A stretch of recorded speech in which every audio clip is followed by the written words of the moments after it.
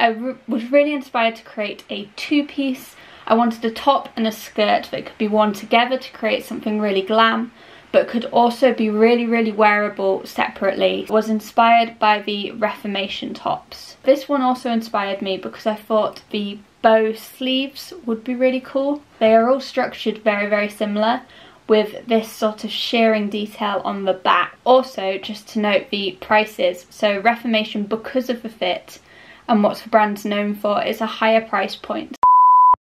Hey guys, good morning and welcome back. I hope you're all doing very, very well. So if you saw last week's video, we attempted to make a skirt. Attempted being the key word, and we're going to park that for now. But to go with that skirt, I wanted to make a top. So that's what we're going to focus on today. During the week I found a pattern for that, so I'll show you this in a minute, but it's pretty much exactly what I wanted to achieve.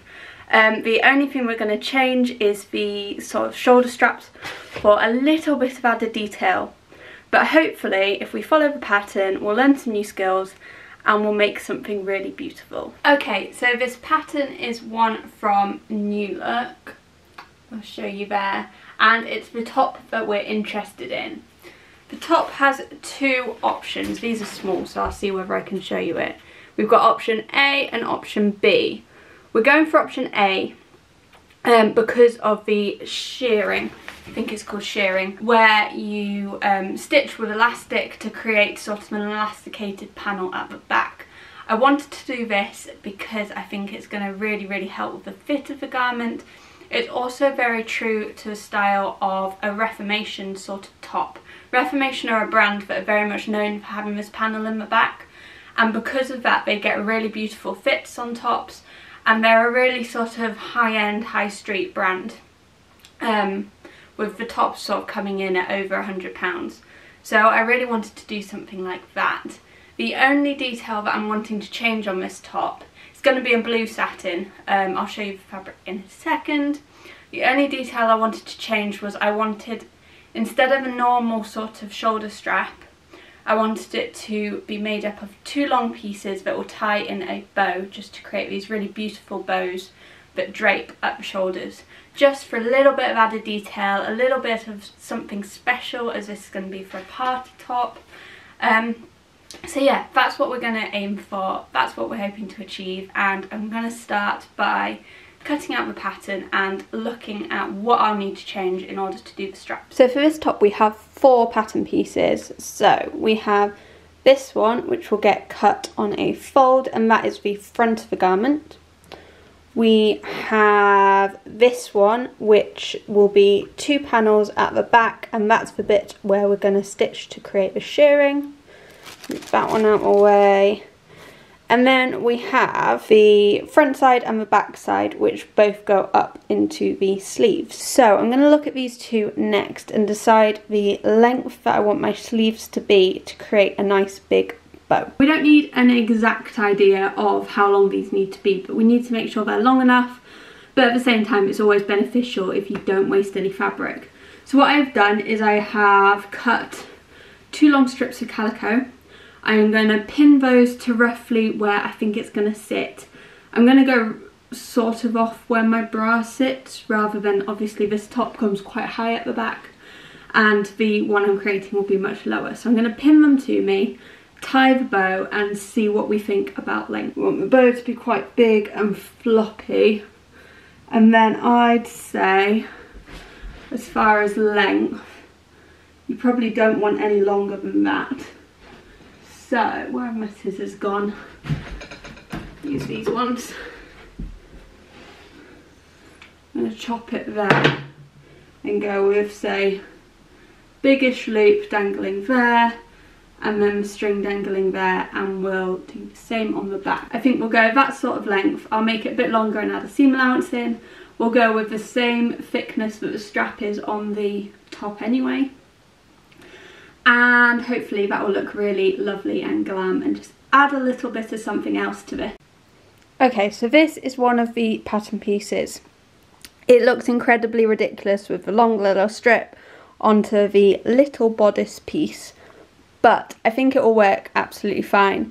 Um, I've just attached the extra paper on.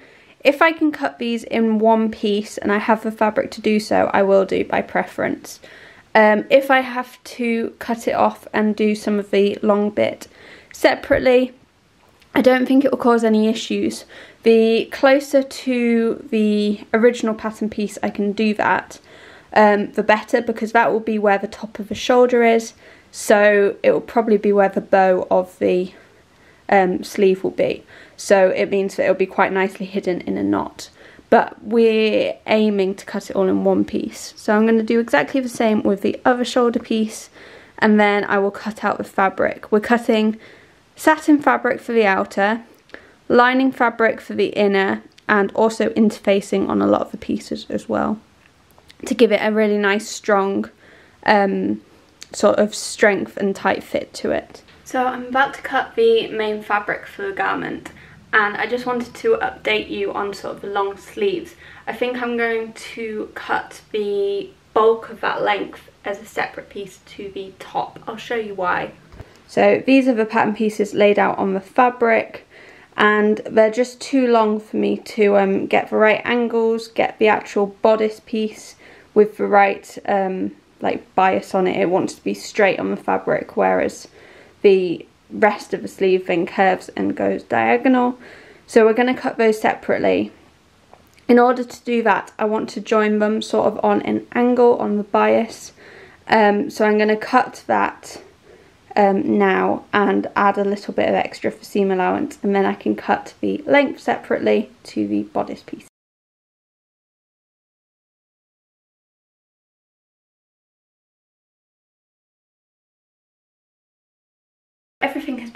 Now and I'm to stop for a little bit of lunch and then I'll be right back with the first steps of popping it together. Okay, so I've just had some lunch and I'm having a look at the instructions for this top. So the first thing it says is to apply the interfacing to the front one and side one and side back sections. So I'm assuming this goes on the outer fabric and I'm to iron that on but I'm also going to go around and um, I call it stay stitching. Is it called stay stitching where you stitch around the like perimeter of every piece just to stop the stretching? Um, I want to take this really slowly and try and get a really, really good finish. I think this top has a lot of poten potential in my wardrobe to be something that I always go back to and I always feel really great in. Um, so I do really want to take my time. I want to make sure that it's really sewn very, very beautifully. Um, so I'm going to make sure that I include all the little steps that sometimes you might skip over um, for time and such like.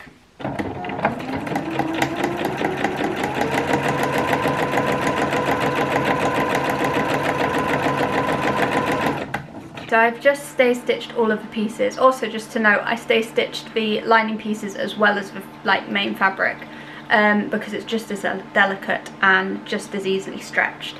So the next thing I'm going to do is start on the construction and we're going to start with the front. So we've got the front panel and two side front panels which have the sleeves starting to come up which we're going to join together first. These are the front sections together. I've not like trimmed the seam and got it to like sit the right way around, obviously to fit um, yet. I'm going to leave that for now and do that when I need to.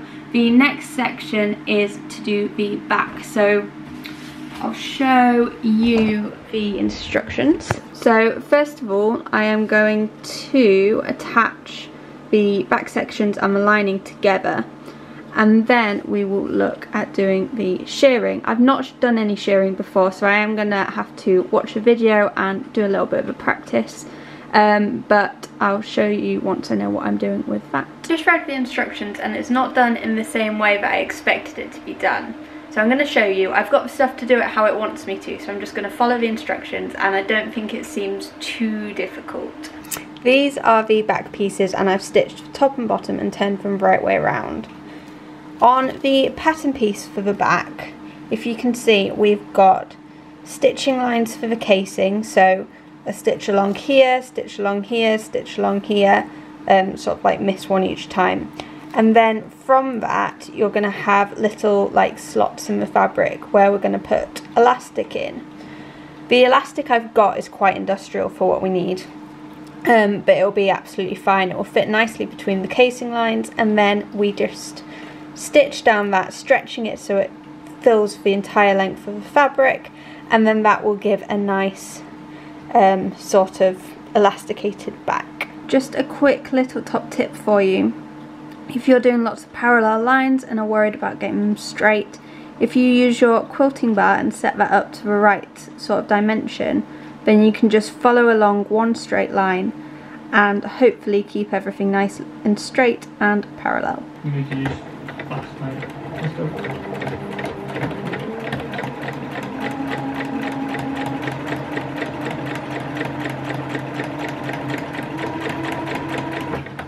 Okay, so on the first back piece I have stitched the casing lines along. They've turned out really quite well and quite straight, so I'm very happy with that. And I have popped the first bit of elastic in. They're a little bit of a pain to get in in the first place. Um, I did make a little contraption with safety pins so I could slip them along because obviously the elastic's shorter than the actual fabric that it's going into. Um, so I've pinned that in place and I'm going to do one at a time and stitch them in um, just because I think it will be a lot easier than trying to stitch it when I've got all of them in place. The last one will probably be a, bit of a pain um, but we'll get around that, that'll be fine. Good morning guys, so it's Sunday now, I'll catch you up on what I did last night and we'll get on with the construction today. Just a quick note, we've got some building work going on next door, so if you can hear constant banging then I apologise for that. But I'll show you the back panels that I finished off last night and then we'll have a look at what's first today. So these are the back panels with the elastic in them. I think they actually look pretty good. All these lines of stitching are, I mean they're not perfect, but they're pretty parallel. The ga gathering's looking pretty even. We've got the two panels here, which again, they look, other than the fact, I think they're upside down. I think that one wants to go that way to match. Um, but they're looking pretty similar like the same sort of shape and height. So hopefully those will go in absolutely fine. They're also like very, very strong with the elastic. Um, I can't show you because I'm holding the camera, but I think we'll be able to get like a really good tight fit. Hopefully it will work really well. The only thing that I have got to go and do today is I've got to pop into town at some point to go and get the zip for the back. It wants to have a separating zip, but at the same time you don't want anything too chunky you want something quite like discreet and elegant looking.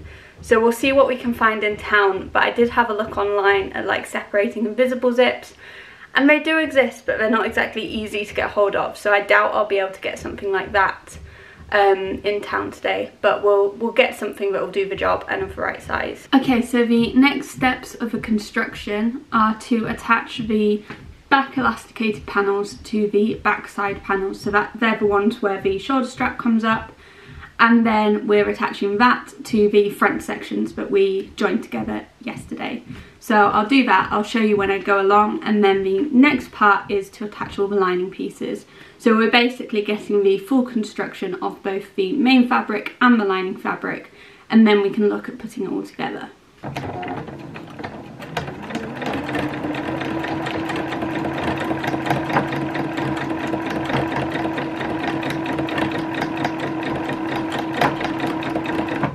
I don't know whether the beauty of the fabric actually comes across enough on camera, but it's just stunning. It just glistens really, really beautifully.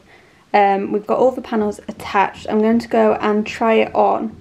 Obviously I can't fasten it because we've not got a zip in it yet. But I am going to go and have a look where the seams around the bust fit, where the side seams fit, and see where it needs taking in. I'm expecting it to need taking in a little bit.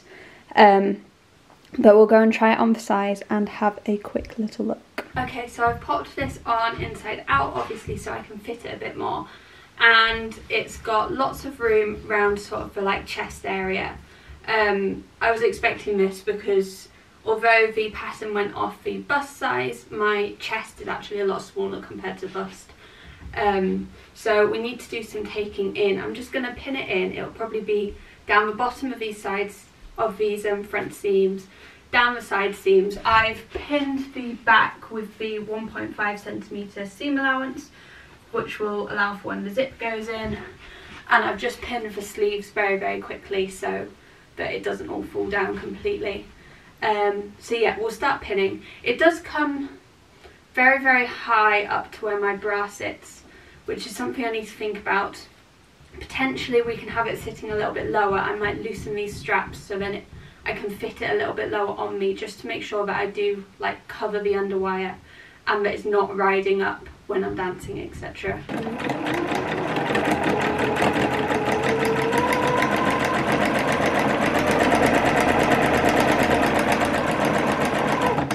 Right, so this is the first look of it all taken in now. I think it's looking pretty great.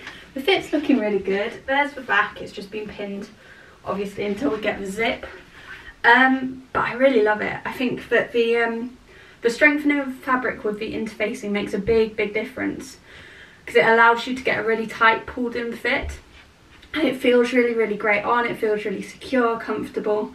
Obviously the straps are still to like sort out properly. I'll go in and attach the long bits probably next. But the overall fit, the length of it, everything like that, really, really happy with. Um, it's not easy to get a proper fit, especially when you're a curvier woman and you've got boobs to go around. Um, but actually I think this has worked really really well. Just pulling it in at the right seams making sure it's nice and even. And I think we've got a great a great looking fit. And again I love the fabric. I'm obsessed with this fabric. So I think this is going to be a really really cool top once it's done okay so I thought I'd give you a little update of where we're at. So this is the main top and I have attached the long like sleeves ready for the bows. Um, so it looks slightly mad right now but that's fine. That's all fitting really nicely. So what I've now done is attach all the lining pieces. So there is the lining on top. To make sure that the lining fits the main fabric that's been fitted to me I'm going to go along and line each seam up and just take it in where it needs to go. So I'm not going to do this on me. I think I should be able to do it with the sort of outline of the main fabric that I've created. Um, but we're going to slowly go through, make sure it all lines up nicely and then we can attach the two together. Just to show you what I've done, so I've lined up with all the seams, so the main places I've got to take it in are under the bust here and here and quite a lot at these side seams. So that's all pinned where it needs taking in. I'll unpin it from the outer and then I can zip down the seams and take it in. Um, I always think with the lining, as long as it fits the outside and it's roughly right. It doesn't have to be exact, but you don't want it smaller than your outside. Um, a little bit, tiny bit of excess won't matter, but you definitely don't want it popping out anywhere or pulling the outer in. Um, so it does need to be pretty exact. I've just had a quick double check of the instructions to make sure I'm not missing anything. But the next step, now that the lining is nicely fitted and I have added the long like sleevey bow bits um, to it. The next section is to attach it all. So it says first of all to start with the neckline and the sleeves and then to go on the bottom. We can sew it all right sides together because there's two bits that you're leaving open down each side which will then get hand stitched onto the elasticy bit so we've still got something to turn it out um, to. So I think it's just going to be long and fiddly because of the really long sleeve bits. Um, but we'll take our time and we'll get it all attached. And we're very, very close to finishing now. So last couple of pushes, I'll go and get a zip and then we'll hopefully have a beautiful finished garment soon. Okay, so I've just pinned it all in place and there's one more thing that I'm going to do before we stitch it. So on the ends of the long sleevey bits, I'm just going to cut it at an angle um, so that it just looks a little bit more delicate, a little bit more refined um, when it's all bowed up. So I don't know which way the angle should be, so I'm just going to take a guess. I don't think it will matter, um, but I'm just going to snip all of the ends like that so that they're nicely angled.